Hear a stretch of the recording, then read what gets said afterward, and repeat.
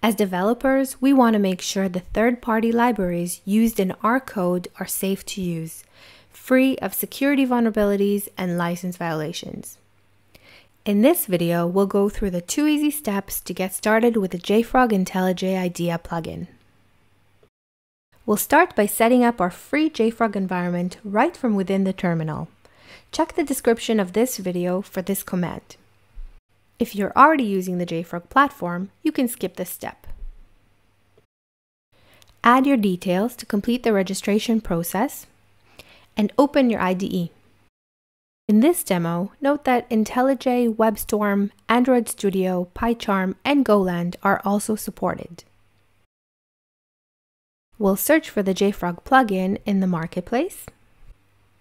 If you're already using the JFrog platform, you'll need to set up your details.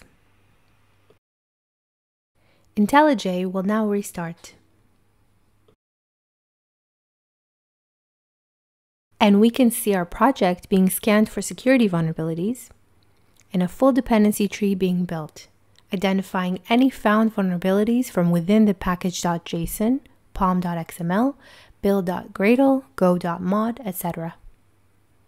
Clicking on the vulnerability, we can see the vulnerability information and impact path.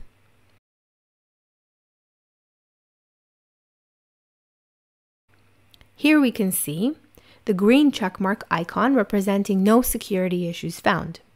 The other icons represent different severity levels, including issues within transitive dependencies. For example, this supertest dependency contains a vulnerable dependency. So let's drill down to see what it is. First, we can see details like the artifact version, scope, references. And let's click on the superagent vulnerability. Here we have a detailed description as well as the impact path.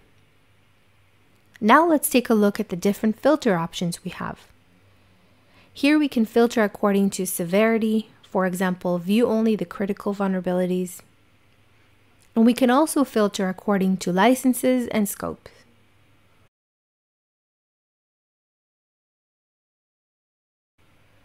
Lastly, we can export the list of vulnerabilities to a CSV file. That's it, we're done.